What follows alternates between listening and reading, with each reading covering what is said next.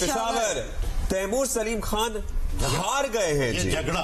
ये झगड़ा जी साहब। झगड़ा साहब हार गए हैं। जलाल खान पीएमएलएन के सोलह हज़ार इकतीस वोट लेकर जीत गए हैं। दिस इज़ ये पेशावर का नवाई इलाका है। ये झगड़ा एक बेसिकली गाँव है। है। ये जहाँ से इकबाल ज़फ़र झगड़ा साहब भी थे।